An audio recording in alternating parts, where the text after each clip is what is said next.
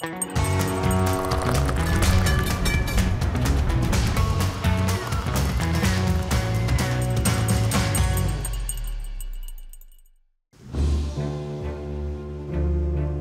Tower of London, one of the most famous fortresses in the world. What better place than under these battlements to interview the 997th Commander of the Night Watch from Game of Thrones? I asked legendary actor James Cosmo about his life and career in over 200 movies and television dramas, spanning seven decades, and his attitude to his craft, which has made him one of the most recognised and best loved actors of this age. Turkish Tea Talk with Alex Salmond on TRT World.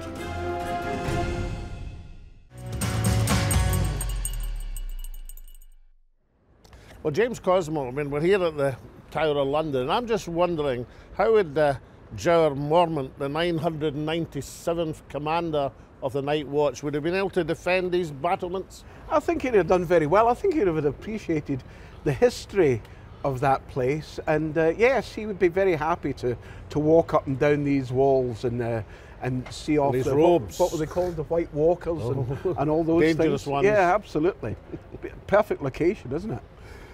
I mean, things like you know Game of Thrones. I'm interested. You know, when you get a script or when you get a part, Yeah. have you any idea that something like Game of Thrones is going to be kind of the all-time high for television successes? I'll tell you how that happened, Alex. I get uh, sent through some sides, as they call them, like three pages, four pages of dialogue to go on tape for this American series that they were making. And usually, uh, when you do that, you go into the casting director's office. You've got the, the thing there, and you just read off the line. That's it. But I read this speech, and it was it was when Lord Mormont is uh, welcoming, if you like, the new recruits to the Night Watch, and he tells them that they're all a bunch of horrible people and they're robbers and thieves and the lowest of the low. but you are joining this group of people whose life is dedicated to protecting the people inside the wall against all the malevolence outside. And it was a really, really good speech. It went on forever. But something in the back of my head said, um, no, you really got to make a good job of this, you know? So I worked with my wife Annie for that evening and, and got the, all these words off. And uh, next day I went into the casting director, went in, they just like here, you know, there's a camera set up, and uh, uh, they said, "Do you want to?" I said, "Yeah, let's go." And boom, three weeks later or whatever, I got a, an email from George R. R. Martin saying, saying uh, "Dear Lord Commander, uh, welcome to Game of Thrones." So when you got to Dear Lord Commander, you knew I you had thought, the part. I thought I might have, um, which was amazing. Um, but nobody ever realised how big it was going to be. I mean, it was a big production, but you have big productions that only last one season, you know, and, and that's it. I said to David Benioff, um, the, one of the producers and writers, uh, I said, Do you think we're going to get a second series out of this? And he went, I don't know. I just don't know. My goodness. It just hit a chord with the public. So when you're in a, a huge series like that, Yeah. uh, and your character John Mormont gets bumped off, I mean, Yeah. I don't know how that upstart Jon Snow got on, but nonetheless, is it must Nearly be a ki- everyone did get bumped off. well, yeah. it must be a bit of disappointment for you. Oh no! Just No, when I, I- was enjoying it. I always knew because I, I, I go um, steelhead fly fishing in uh, Washington State, and I've got an old friend of mine, Bo, that, that lives there. And uh, I told him I'm, in this show, and he said, James, I'm going to read the books. I'm going to read them. And so the first year we're out there fishing, and he, he, he, he shouts, he said, Hey, James, he said, I'm reading Game of Thrones, you know. That He said, You're still there, kid. You're still there. Well, two years later, we're there, and he said, James, they're drinking beer out of your skull. so I knew it was coming. But that was fine. I'd been in the first three seasons, and you know, I, it would have been, you know, I guess it would have been nice to carry on. But three seasons is a lot of work, and you want to move on. Let me take you back to the beginning of your, your life as an actor. I mean- Yeah. I mean, you're a working class lad in Clydeside. You're Yeah. born in Dumbarton, but Yeah. moved to Clydebank and that area in the industrial belt of, Yeah. of Scotland. Yeah. And effectively, at the age of 17, 18, uh, you've got a choice. You, you can either get a steady job in the shipyards or ship Yeah. breaking, I think it was, or you can come to London and try your hand as an actor. Yeah. Now, I'm really interested because your father was a jobbing actor in London. You Yeah, knew yeah. how difficult Yeah. it was going to be, but you made that choice. Yeah, yeah. Um, we were brought up in, in Dalmuir, just outside Clydebank, upper close, you know, same as everybody else. I still believe that I had a, a, a very privileged upbringing. There was very little money around, and everyone worked very hard trying to, you know, rebuild Clydebank and the, and the, the country from after the war. Um, but the sense of community and, and warmth and a feeling of security was overwhelming. It was wonderful. When I was eight, um, my father, as you say, was a jobbing actor, and he was in a, a very long, I think it ran for four years.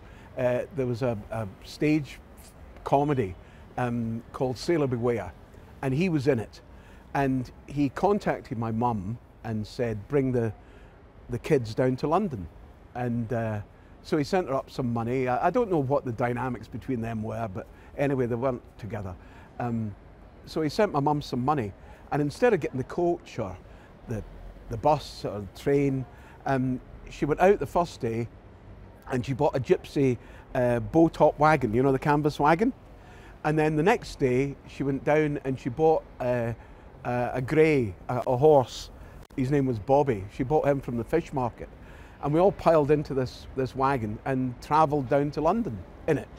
And we got to um, St Albans Some weeks later, some weeks later.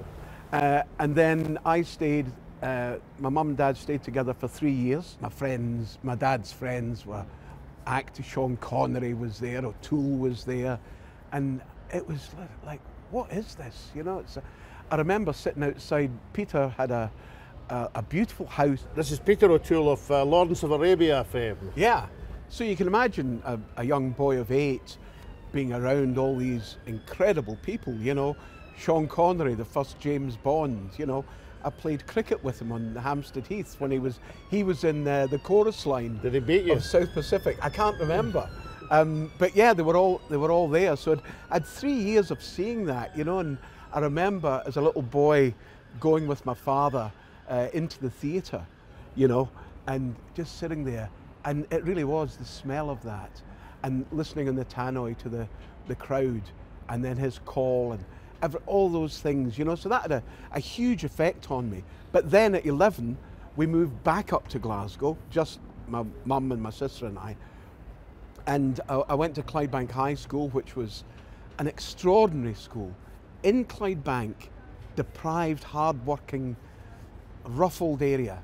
Always remember the teachers wore their long cloaks and sometimes their mortarboard. It's the graduation robes from university. Yes, but they wore them every day. And the discipline was incredibly strict. Um, but they turned out some fabulous people. I suppose you would say you were fortunate. We would say you were talented. You came right into the golden age of television. You got parts on Yeah. Dr. Finlay's casebook. You were in the, the Sweeney. But, and, and that was a great career, but you were hitting perhaps a bit of a, a pause or an Yeah. idea Yeah. in your 50s, and then one night you got a, a surprise phone call. Tell us about Yeah, that. well, I was 46 and I'd met Mel Gibson, what they call a general meeting, you know, like he might be making a movie over here, he wants to meet some people, it's uh, Scottish people, whatever. And so I went along, I spent 10 minutes with him. And we, uh, oh, I always remember he said, uh, Hi, I'm Mel Gibson. How are you? He said, uh, Do you want a drink? And I said, What's, aye, go on. and he, he pours me a whiskey, and I thought, Oh, he's not having one. Oh, well. And uh, so had a wee, a wee dram, and we, he played me some music. He said, What do you think of this music? It was sort of. Um, sort of music that was actually in the film. And I said, yeah, that's very impressive stuff, very emotive. And so with this very short meeting, it was great to meet a big film star, terrific. You forget all about it, forget it. So I, my wife Annie was working at the BBC. She was the breadwinner. I hadn't been working for a while, and we got a baby, um, who's now a great big lump. But we had a baby, and he was just months old, and we were living in this wee flat in Twickenham, um, uh, one bedroom flat. We had a futon that we all slept on, including the baby, which was lovely, and we had a rocking chair that we'd borrowed from Annie's mum and a TV. That was about it. But we were, we were fine, we were, we were good. But the one treat of the week was a curry, because I love curries. Coming from Glasgow, of course you do. But um, so I'm sitting down, there's this lovely big curry, you know, and I thought, yes, here we go. And the phone rings. So I, I said to Annie, ah, that's Dominic, my best pal at that time, who's passed, God bless him. But um, I said, that, that'll be Dominic calling me from the pub to come out for one before it shuts. I said, tell him I'm just having a curry and I'm watching a film, but I'll see him tomorrow at lunchtime. And she went, okay, fine. And she went away and she lifted the phone, you see, and it's in the same room. And I'm watching the film and I'm eating the curry. And she says, hello, yes? Uh-huh. Oh, right. She said, would you hang on a minute? I went, curry. and she said, her hand over the phone. She said, smell Gibson. I went, ugh. I said, it's that Dominic was terrible practical joker. And I said, ugh, oh, come here. I said, hello. Like that, as aggressive as that. I went, hello. And this voice said, uh, hello, Jimmy, uh, smell. I went, aye, yeah, who? it really is Mel Gibson, you know. And he, he said, I've been watching your show reel, and he said, uh, will you come and play Campbell, the father, for me? And I said, uh, oh yeah, yeah, I'd love to. He said, great. He said, uh, I'll see you next week. Goodbye. So, so this is that Campbell was it. Boom. in Braveheart. In Braveheart. Uh, yeah. So winner of whatever six, seven. Forget the number of Oscars. Yeah, uh, I don't know, this, six, I think. Yeah. This extraordinary uh, Yeah. film, which uh, many people say reignited the, the national movement in Scotland. And, Indeed. And your your character Campbell was a uh, a, a guy who uh, was inspired uh, uh, because he had lived his life under oppression, and he, he, Yeah. he- he- you have a your death speech. Uh, Yeah. It's one of the most quoted as you're dying. You Yeah. say. I, I want to think about that for a second. You're Yeah. doing a death scene like that. I Yeah. mean, uh, it's. Uh, and you've got something sticking out of you, and somebody's got a hot poker or something. I mean, It's very interesting, you know, in that death scene. It just shows um, what Mel Gibson was like as a director and an actor, being both. Um, that it, it, we we just had lunch and we were going to shoot the death scene, and uh, we were walking to the set, and he said, uh, "Jimmy," he said, uh, "Tell me," he said, "what's the cheapest thing on this set?" And I said, "The cheapest thing." I said, I've got no idea. What, what are you talking about? He said, It's the film and that camera. Use as much as you like. Which was a great thing because he was, all of a sudden, he was meaning saying, to keep doing it. You you can do right. that 20 times if you want. Nobody's going to say anything. Because times I've did you said do it? Two. Of bad, course, it's not bad. because you relax and you get into it, and it's and it's great. And the only reason we did it a second time was because on, on my big close up, because Mel was a is and was a terrible practical joker, and uh, he said, right, we're going to shoot that one more time, and I'm lying on on uh, on uh, Brendan Gleeson's lap, you know, all this sort of stuff, and Brendan, God bless him, he's, you know, his lips trembling and everything. So he said, right, action. And I'm, so eventually I expire and I close my eyes and I'm, I'm waiting for somebody to shout, cut, you know? and I can hear Brendan doing this and I think, oh, he's sobbing, you know, sobbing. and it goes on. And then I look up and Brendan has got a cl- red clown's nose on his thing. This was for the, the gag reel at the end, you know. Um, so that's the only reason we did it a second time. And when when it came to the premiere, Yeah. uh, Uh, you, you were I think you were filming elsewhere, but you, you dropped everything. When you're part of a very successful movie, there's a sort of idea that if, if people cast you in something else, then that'll make their movie. It's a sort of logistics thing, you know.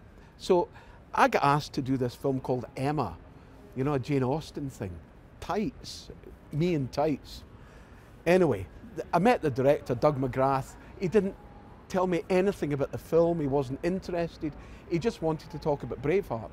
So I'm down in the West Country and uh, filming Emma with Ewan McGregor and Gwyneth Paltrow. And uh, so I had to be at the McRoberts Centre in Stirling for the premiere on Saturday night. I said, guys, you've got to let me, you know, give me the, make sure I can get up there. And they tried and they, they said, well, get this big uh, scene that we're doing, everyone's in it, you're in it, we can't, we just can't let you go, you know. And I phoned my wife and I said, we can't go to the, the premiere, this is, ah, jings. And she said, oh, that's okay, don't worry about it. But I knew she was disappointed. So I sat and thought, hang on, I'm, I'm making a, a good living here. So I phoned her back and I said, Annie, get us a plane. And she said, what? I said, get us a plane. So a few hours later, she phoned back and said, I've got a twin engine plane. that's going to take off from um, Sevenoaks, just up the road from us. So up there, into the plane, flew up to Glasgow, went to the premiere, had the most fantastic time. And so eventually, about two o'clock in the morning, this is the interesting bit. Two o'clock in the morning, Annie said, we better get going, get you, get you back home. So there the car's waiting and we get in the car and we're driving to Glasgow. And in those days, nobody had mobile phones, but the guy had a, a car phone and it rang. And he lifted it up and he said, oh, here, he said, it's for you. I thought, what, what's gone wrong? So I lifted the phone and it said, um, this is uh, at that time Strathclyde Police. We believe you've got a, a, a private plane flying to London uh, tonight. I said, yeah, well, in about half an hour, whatever. Uh, is it what, what's wrong? They said, um, we've got a human heart that oh, needs goodness. to get down to London, and we can't wait. In those days, they just couldn't wait. And he said, would you be willing to take the heart down? I said, absolutely, yeah. Well, within about 10 minutes, two police motorcyclists came up the motorway like that on either side of us, and there was an ambulance behind them. And they always remember the, the police guy was like that, and he went like that to the driver. And he took off like woof, and we went screaming down the motorway. They contacted the plane. They gave us this big yellow box, and it sat up between Annie and I all the way to London. And this, the the police and the ambulance were waiting for us at, at the airport. So, God willing, the Braveheart premiere yeah. at Stirling Castle and your attendance there yeah. saved somebody's life. Yeah. They, they, might be walking about London You never now, know. You never result. know. Let's hope so. Yeah. But for you, Braveheart, I mean, it brought you to this kind of second phase of your career because yeah. it, it, was the ultimate blockbuster, Hollywood blockbuster. Yeah. Uh, and then you, you, went to Trainspotting, to Troy, to yeah. the Chronicles of Narnia. Yeah. Now, what I'm interested in is because you were in Braveheart, other people planning other huge movies say, we better have Cosmo. Absolutely. Yeah, yeah. They tend to think that if you've been part of something very successful, then maybe your input uh, would be appreciated in, in their project. You know, it's great to be in a big show because it does have a knock, knock along effect in your career. I say, we make him wait a little longer. Uh, another interesting point is that, I mean, although obviously you play a senior figure because uh, it's that stage of your career. Yeah. There's still a huge range. I mean, you're, you know, in uh, let's see, in, uh, in Jack Ryan, you're a, a, a, a Russian uh, spy master, having yeah. folk knocked off. But in the yeah. Chronicles of Narnia, you're Santa Claus. so, yeah. I mean, there's quite a contrast between. Yeah. I mean, you, you, both got beards, but apart from that, one, one, guy's killing folk and the other guy's Santa. Yeah.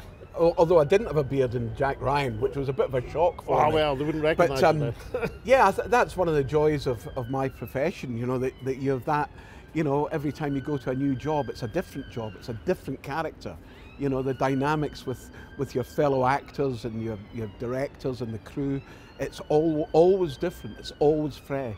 And how about the, you know, the really big names? I, mean, are they, you know, are, are, some of them prima donnas and some of them are nice as you like, uh, uh or does it just depend on the individual? Is there, is there no great set formula?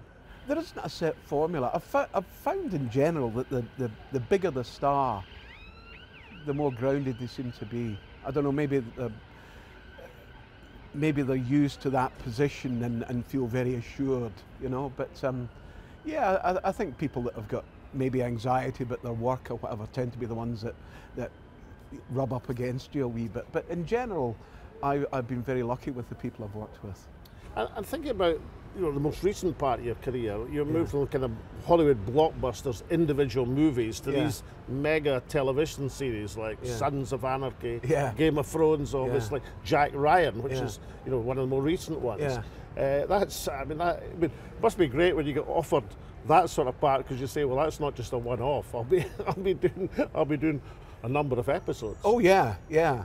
Uh, funny when you say Sons of Anarchy because I got a phone call from my agent in America and, and she said, "Do you want to be in Sons of Anarchy?" And I immediately thought, tattoos. They'll give me a Harley Davidson. I'll be there. I'm made for this. And I said, absolutely. I'm on the plane tomorrow. I'm going. And then I read the script and I'm playing an Irish priest.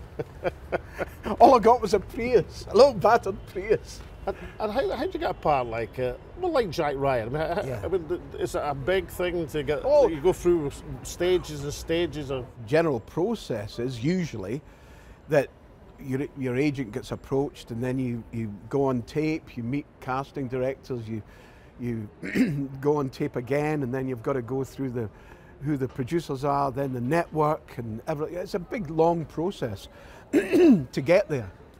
I got a phone call from my wonderful agent Olivia, and she said, "I, I have just had a, a interesting phone call." I said, "Oh yeah." She said, um, "Have you heard of Jack Ryan?" I said, "Yeah, yeah, yeah, yeah, books, yeah." She said, "Yeah, this is a series for Amazon.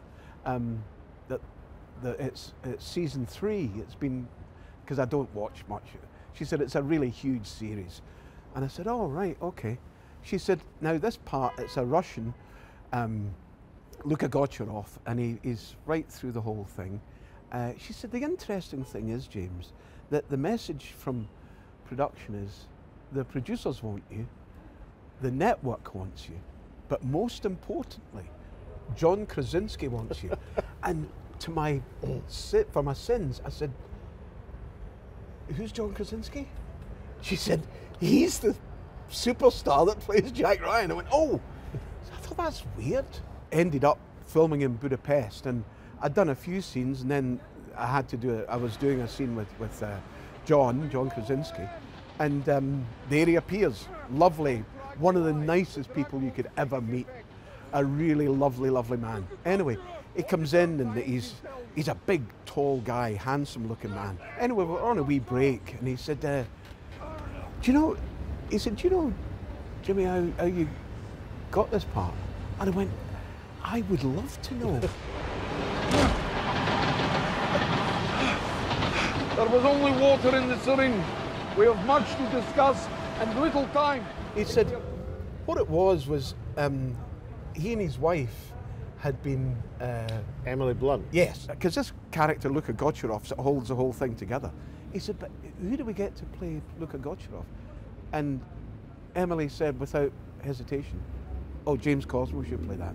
I have never met Emily Blunt. I still haven't met Emily Blunt. Isn't that the strangest thing? Just how fate says here. James, just thinking about your career, I mean, you've you've made films with some of the most famous uh, actors and actresses in, uh, Yeah. in, the, in the planet. Yeah. I mean, looking at that, the, think about people who light up the screen, you know, Yeah. I, I'm interested in this this aura that some great stars have. That they look pretty ordinary folk, Yeah. probably backstage, but as soon as they go onto the stage or in front of the camera, they, there's some sort of demonic energy comes out of them. They light Yeah. up the screen. Who, who would who would the ones you would point to who had that great great I, although I never met him, I would say Albert Finney had that. Sean had that, Sean Connery. Um, and Peter O'Toole. Yeah. You know, when you, when you saw him in Lawrence of Arabia, my goodness, it was just extraordinary. And he, as I say, he was a great friend of my dad's. And when I filmed Troy with him, and he didn't know I was his, my dad's son until the makeup man told him. And um, he said to me then, he said, you know, he said, um, we're out here in Mexico. He said, the television is awful. He said, so my son sends me videos of um, my favourite programs. I said, what's that? He said, uh, Dad's Army. He said, I loved it. It's so funny. the great and he- comedy yeah. series about the about the war. Yeah. I said, was it my dad? And he said, yes. And I cried and cried and cried. A word of advice young actors, people starting out in life. I mean, You know, you've had a, a long, hugely successful career, but you've had your ups and downs, Yeah, like, yeah. like we all have. Yeah. Any words for the the next generation as they as they start out in their chosen field? What what, Yeah. what, what the best thing to do is? in any chosen field, yeah, it's terribly tough for young people now. When I when I was young, it was things were a bit clearer, but it's it's very difficult with advancing technology and and and the way the world is changing, you know, for the better and for the worse. Um, to be brave. Don't be frightened of that thing that you're frightened of, because it's just an illusion. Be brave. Get out there and do what your heart tells you to do. Great advice, James. And we wouldn't send you away empty-handed, so I brought along a Turkish tea set for you. Oh, oh wow! Oh wow! Look at that. And it'll keep you out of mischief if you're drinking tea. No, but uh, yeah, it would. I guess it would. That's lovely, Alex. Thank James you so much. Thank you so much. It's been a great pleasure. Thank you. Lovely to talk with you. Wow, that's gorgeous.